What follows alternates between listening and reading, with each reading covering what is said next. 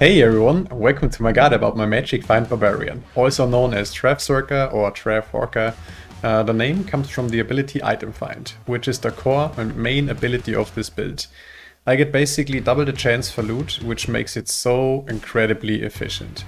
I don't exaggerate when I say you will get bombarded with high runes and valuable loot. I will explain that more in an example run for everyone who never played a barbarian like that. Feel free to make use of the timestamps if you want to skip around the video. While this is not a gold find barbarian in particular, I'm still sitting at around 700% gold find. That makes it so I can gamble for circlets and amulets all the time. I accumulate so much gold with this build it gets almost to a point where it annoys me sometimes. This is a very unique barbarian playstyle and suited especially for people who don't want to play the game for 12 hours a day in order to get rich. In this guide I will provide you with the budget setup, as well as the endgame best in slot setup, a min-max skill tree and the stat point allocation. With that being said, let's get started. So let's talk about the gear. Um, most people are probably interested in the items. The very most important part of the build is grief. That's where all the damage comes from. There are budget alternatives to this, more about that in a second. Um, this is where all the damage comes from. Uh, as you've seen in the intro, you just one two or three tap uh, those council members um, uh, with Berserk. That's magic damage, so yeah, they, they, they don't stand a chance. Um, another important note about this build and about Grief is you need 42% attack speed in order to reach the highest attack speed breakpoint for the main attack, for Berserk, okay? So you achieve this by wearing literally any grief. like the worst, the worst possible rolled grief is still decent in combination with Highlords and in combination with Goldwrap. If you don't have Highlords right off the get-go, which I promise you sooner or later you will find several Highlords in Trav, um, you can get IAS gloves, preferably some with Magic Find. But yeah, just to let you know, if you make your first grief, don't be disappointed if it only rolls 30% uh, IAS. It's still best in slot for you, alright? It doesn't make or break the build. If it's a mineral grief or like a max roll Grief. Of course, eventually you want the GG gear, but the build works perfectly fine with a min rolled Grief. Maybe you can trade for a cheap one. Because others will be uh, others will be like, damn bro, that's a mineral grief. I'm gonna sell this to Akara like I did. Um, yeah. So grief. High as an amulet. Um, plus skills are fairly important here for um, defined item ability, right? More about that in a second in the skill tree. I'm wearing a Arreat. Um, there, like there's so much setups possible. You could run a Shako. You could run uh, a very good budget alternative is um, the Eye Care Helm because it has two sockets. You could put two topazes in here. But yeah, like the setup I'm showing you right now is in my humble opinion, after countless hours farming Trav with this build, I leveled this character from 75 to 90 exclusively in uh, with Trav runs. so I had plenty of time to figure out which setup is the best in my in my own opinion. Okay, like you do you. But yeah, grief, High Lords, Arreats with an Ist for Magic Find, um, Storm Shield with a Cham Rune to get cannot be frozen somewhere because you don't want a Ravenfrost. You absolutely do not want cold damage anywhere on this gear. Not even not even one to cold damage on a small charm. This would totally mess up the whole theme of the build because there's a chance to shatter the enemy to ice cubes and if that happens you cannot item you cannot use find item on a on like some ice cubes, right? So Storm Shield with a Cham for cannot be frozen. Um, I'm wearing Skullder's. You could use Enigma if you want. Um, I just wanted to wear an ethereal, almost uh, max defense uh. I think I even upgraded this once, I guess so. Uh, gloves, laying of hands. uh, for the fire resist mainly and for the damage to demons. A Dwarf Star for the fire absorb mainly and uh, more gold fight. Goldwrap, attack speed, magic find, gold find, uh, the BK ring, plus skill, and some life. War travelers. And two blades of Ali Baba with two Istruns each to have around 600 magic find when I use uh, find item on a dead monster, right? So let's talk about the stats real quick. Um, you can pump this. You can pump this up way more. Uh, you can get way more magic find and or way more gold find. Like that's all personal preference, right? That's all up to you. Um, but yeah, in the kill switch, so to say, like I knocked them out with grief.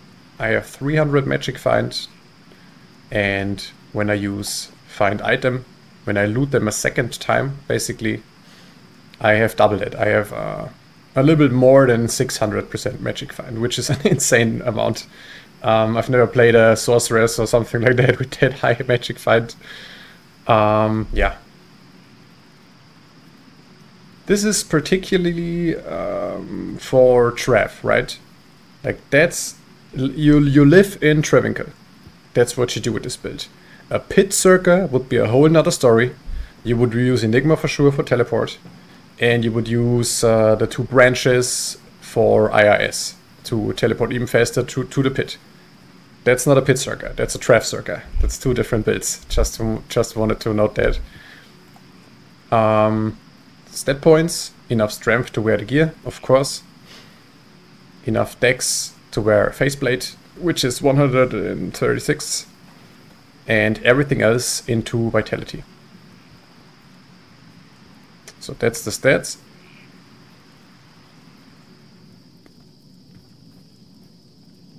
Um, maybe I show my inventory real quick. Also, just personal preference. Um, you can use whatever you want. Since I'm wearing Grief, and Grief has um, a poison resistance pierce, right? 24% in my case. I stack up a bunch uh, uh, poison damage, small charms. Scale is very well with Grief, by the way. And everything else is Magic Find. Those are all 7 percenters. Those are all 7 percenters, of course. Uh, torch and an Anni. Uh, some Grand Charms uh, to max out uh, my resistances. I don't have a Gheeds. Um, like real talk, it's too much gold. Like there, it, if I use a Gheeds, there's too much gold dropping. Um, I only use a Gheeds when I gamble. when I'm stacked up with gold. I'm gonna gamble for circlets and or amulets or rings or whatever. Then I'm gonna put the Gheeds in my inventory to reduce the vendor price. Um, you could use, there's a rune word for a bow, I forgot the name, which will reduce the vendor price even more, but it, like, it doesn't make or break the build, and I don't even want to gamble even longer, right? So Agis, Agis is just fine. but you could use the bow. I don't have it here. I think it's called Edge, if I'm not wrong. I think the bow the bow rune is called Edge, which which will re reduce the window prices even more. But yeah. Um, I don't have a TP uh, book here, because why would I? This character goes to the waypoint, jumps to the council, one-shots council, and that's it. I leave the game and make a new game. So there's no need for me to use a TP scroll book. Um, if you want to min-max this more, I made a little mistake here. So the Cham rune should be in the helm and the Ist rune should be in the shield. Uh, the reason is, let's say they're all dead and you switch to your Hawk setup to your find item setup. Sometimes there's like a little shaman in the background who casts Blizzard. The moment I press W, I have no cannot be frozen in my build. So it's a little bit of a fail, but I didn't bother to change it. Like it is what it is, okay? But yeah. So that's the, so to say, expensive min-maxed gear. Um, you could use chance guards for more magic, find, whatever, okay? As I mentioned, I leveled this character from 75 to 90, exclusively killing the council. And this is the combination of items I found is the best, alright? Um, another note on this gear is, all these items, every single Istrun,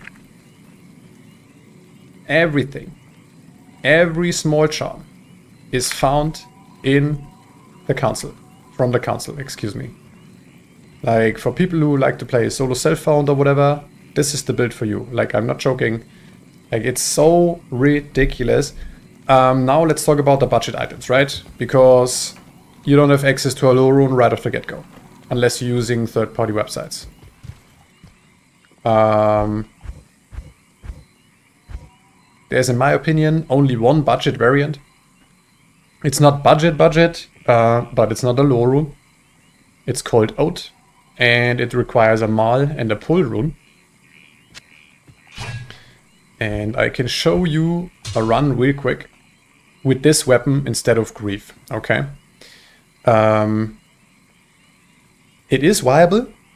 It's the best viable options. It's the best viable option, but you want, if you trade for something, if you really farm up for something, get Grief first.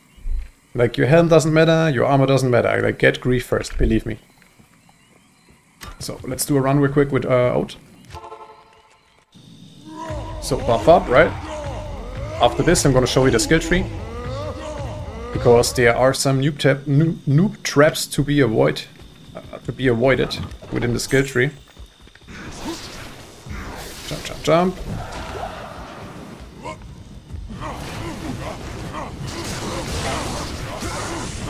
If you play hardcore, be careful with the jump, uh, because you get a rubber band effect uh, often here. That's what I'm talking about.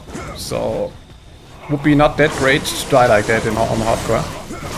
But as you can see, they die fairly quickly uh, for not having a weapon uh, which is expensive, right?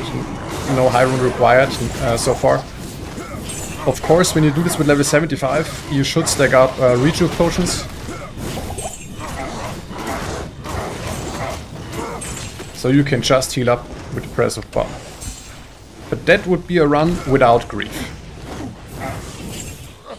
Then you use item find. Um, since loot filters are not allowed in this game, like there is so much loot dropping, you could do a little trick. Um, you press F to zoom in, so you can see the loot better, so you don't miss any runes.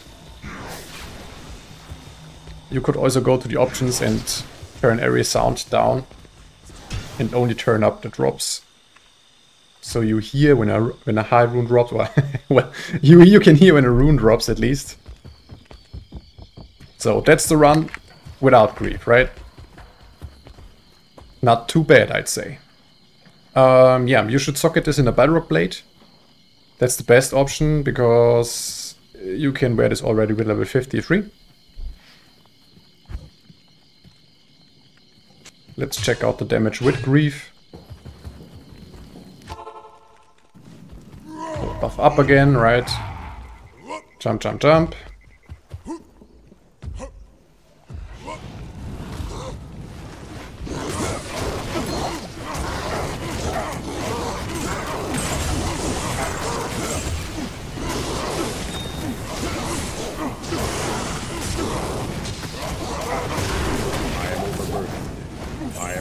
That's it, they're all dead.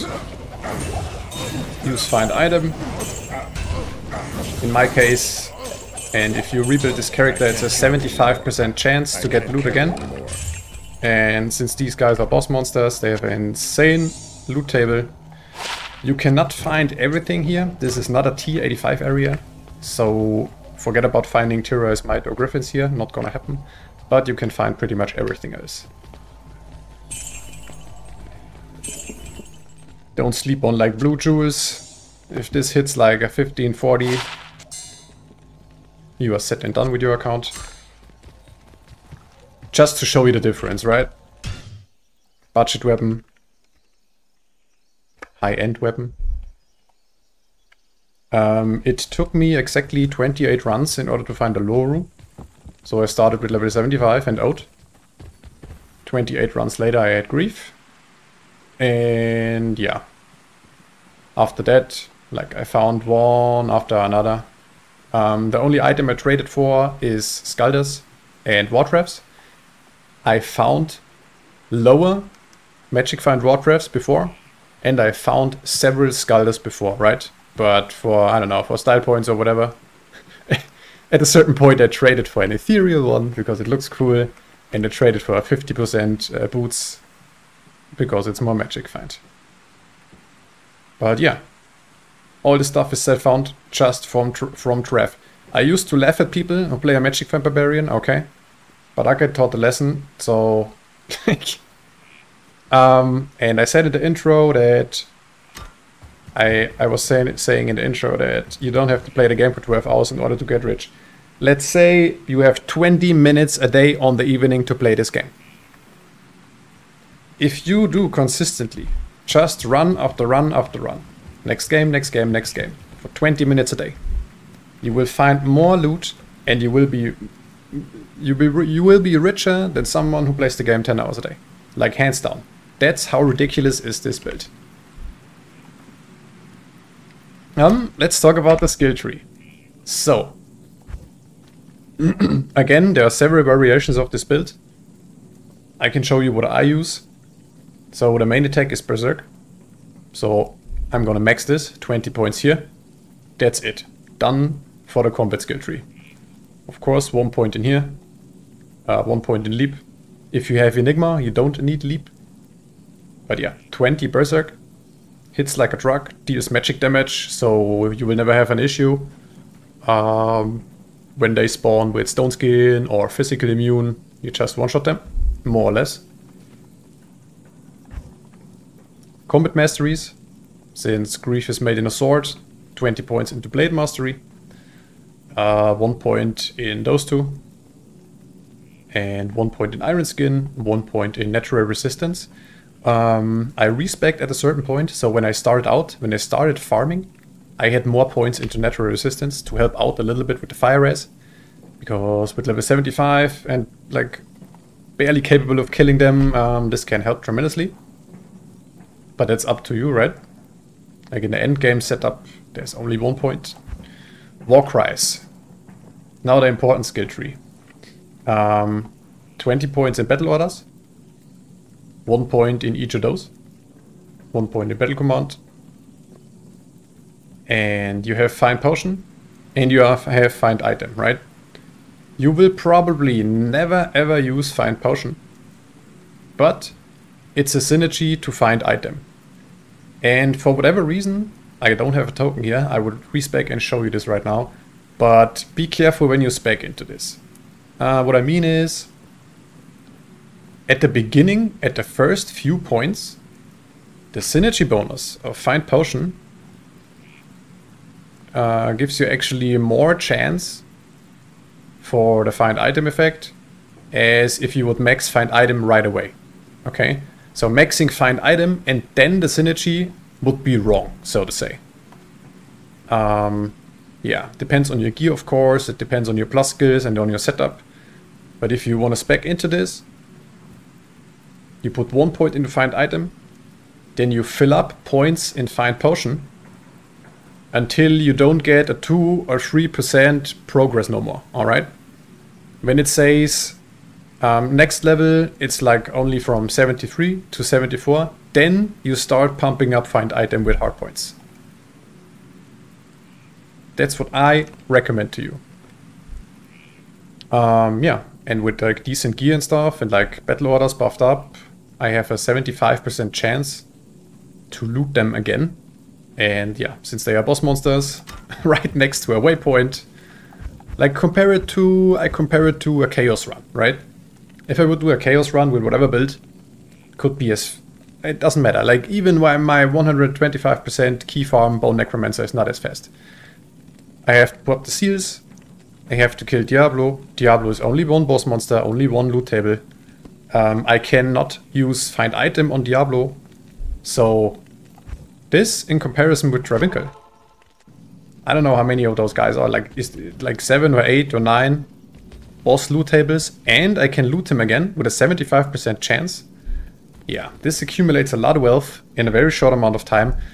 You get the raw drops, of course, high runes. Uh, magic find has no effect of high runes. That should be self-explanatory, but I mention it for anyone who is like not a big magic finder or whatever.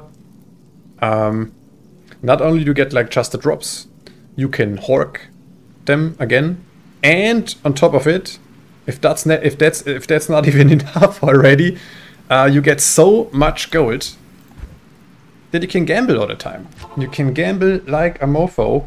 Like it's as as I mentioned in the intro, it almost gets annoying. Like it's too much gold. Good morning. And if you can imagine, if you have billions upon billions of gold to gamble all the time, like it takes you I don't know, maybe 30 to not even 30 runs and you are maxed out on gold in your stash. And then you go gamble. You gamble. I recommend um, helmets. like coronets and stuff. Circlets. And or rings and amulets. And I sold countless of circlets. For Vex runes, Sur runes, Law runes, depending on the role of course, right? You're looking for uh, plus skills and faster cast rate, faster run walk, all resist mainly. And yeah, that's another source of getting rich with this build. The runs take literally seconds. Um, yeah. That's pretty much it. Leveling with this build, forget about it unless you hate yourself. Um, if you want to if you wanted to level this, I, I leveled this character with. Um, I was a singer barb. I was using the um, the battle cry and war war cry, the one who deals damage, but it's a pain. Okay, like starting starting a starting a ladder with a barbarian is always a pain, but it's highly rewarding. But yeah, that's the build. That's how I get rich. That's how all the pros do it. Um, like, I'm not joking, like, item sellers probably hate this build. Or they even use it by their own, uh, like, they, they, they use it with their bots or whatever. I don't know. Um, I can highly recommend. Like, as I mentioned, I was making fun of people who were using a Magic Find Barbarian in my world, right? Like, bro, what? Magic a Barbarian? A Barbarian should be a killing machine. Like, give him two grief, give him a BotD, give him last wish, make a frenzy barb, clap ubers. Yes, you can do that, but it's utterly efficient to do magic finding uh, in Travincal. Um, after playing this build countless hours, I'd say it's a must-have. Like if you, if you, I would not say take the game serious. Like the game is just for fun, right? But if you're someone who want to min max, and if you're someone who like wants to get rich in every ladder as fast as possible and so on, you not only should have a sorceress, but you should have a Travi Hawker Like no joke. Yeah, with that being said, um, if you have any questions about that, feel free to uh, let me know in the comments below. Fairly simple build, right? Very fun playstyle. Even though you just clap them with like a basic attack. But it's a very fun playstyle, very, very, very rewarding. You will find so many items, like this stuff is all self-found, believe it or not.